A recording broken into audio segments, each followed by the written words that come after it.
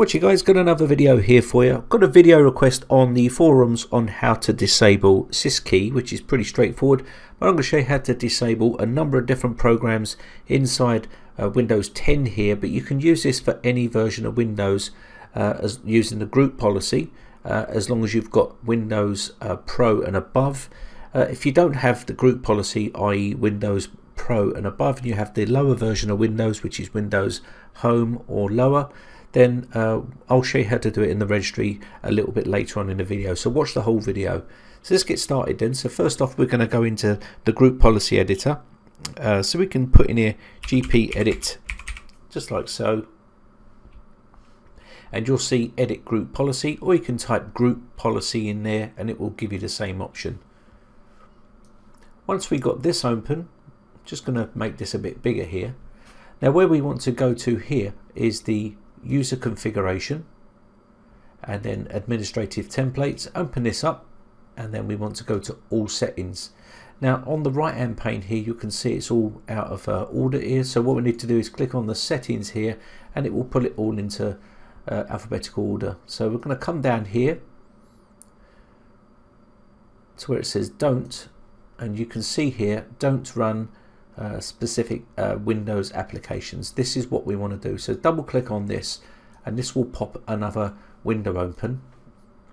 And once we've got this window open here, what we're going to do is click on enable and then from here we can now click on show and this will open up another box and now we can put in our values that we want to use okay so you can click on the value here and then type in your value what you want. So for basic syskey.exe and we can click OK here and this will then click apply and then and that'll be enough. If I go down to command prompt and open up command prompt here and type syskey .exe you can see it's restricted that uh, permission to run that okay? And you can't run that anywhere down here either. And if you want to try and open it it will block that application. It won't let you open it. So that's one way of blocking syskey now if you want to block other ones you can do also. Just go back into the value box here and type in some others that you want to do. So msconfig.exe and this will stop you opening up msconfig and also you can do some other ones like regedit.exe and also control.exe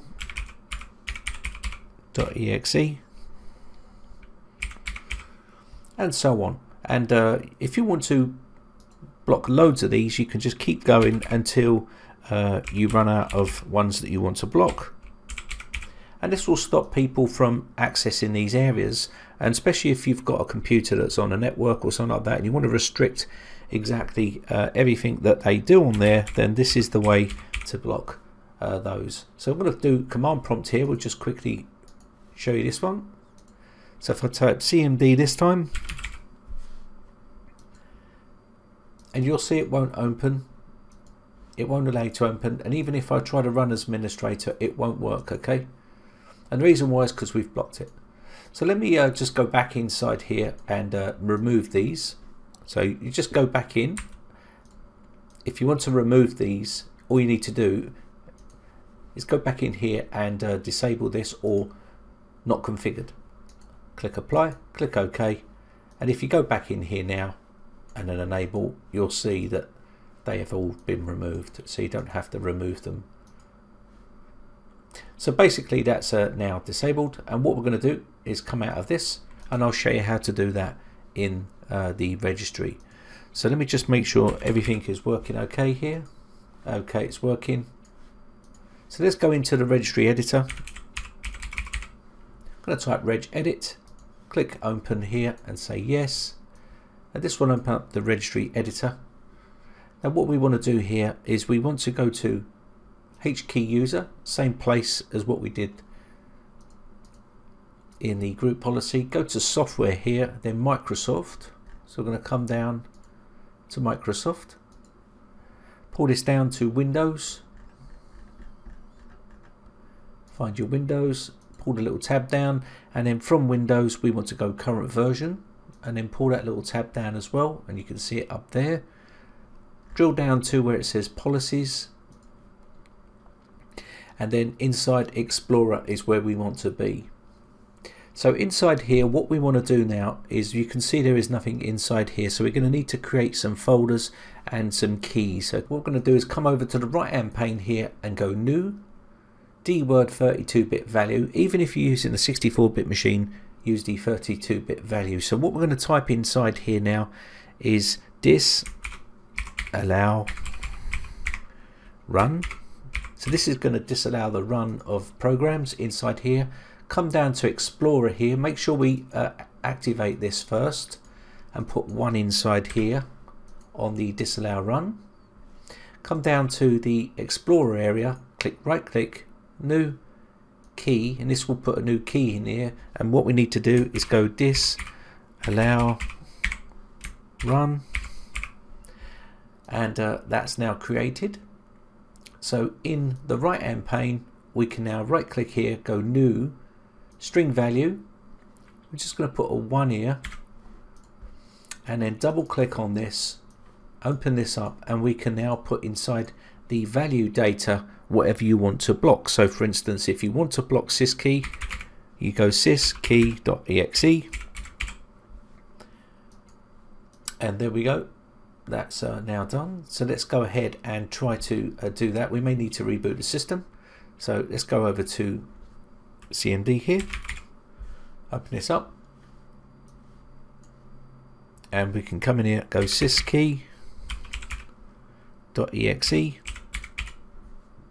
push enter and you can see it's now been restricted and that's by just adding a few of these in now if you want to add more all you need to do is go new string value 2 and then double click on this and add your value data in. So for instance if you want to block uh, msconfig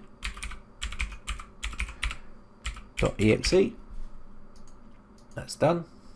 And after you've rebooted the system uh, you will come back and I've added a couple of extras in here just to show you. Uh, I should have put a 2 there 1 2 3 4 just keep going 1 2 3 4 5 as many as you want and uh, basically this will stop them from working. So for instance after a reboot of the system you'll see control prompt won't work. Msconfig also won't work as you can see here. And you can just block these as you wish okay? And that will stop those from running. And that's how you can do it basically inside uh, the registry.